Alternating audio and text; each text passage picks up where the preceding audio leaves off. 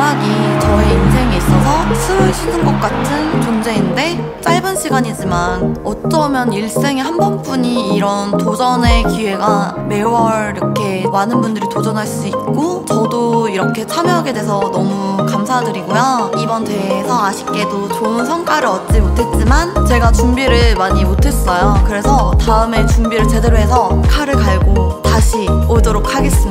저는 되게 좋은 흐름이라고 생각을 해요. 아무래도 일반 그 DJ 분들이 이제 업장에서 레지던트 DJ라고 하죠. 그렇게 고정돼서 활동하시는 분들이 아니면 사실 플레이할 수 있는 기회를 얻기가 쉽지가 않은데 이런 기회를 통해서 참가하는 거에만으로도 의의를 둘수 있고 많은 competition 하잖아요. 다달이 하니까 그게 되게 좋은 기회인 것 같아요. 모헤닉에서 어떻게 보면 이 기회를 준 거잖아요. 이번에 참가한 모든 DJ 분들을 대표해서 제가 감히 감히 제가 대표해서 감사 인사 한번 드리고 싶습니다. 감사합니다.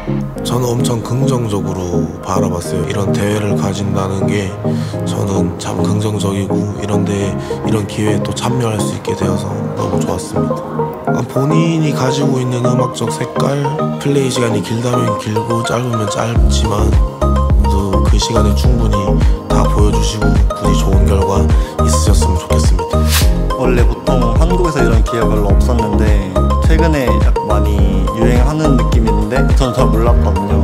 언더그라운드 사람한테는 나도 되게 좋은 기회인 것 같아요. 사람들이 즐길 수 있을 정도로 베이스 음악을 튼게그 관객들 반응 별로 기대를 안 했는데 사람들이 많이 즐겨주셔서 되게 만족을 하는 공연이었어요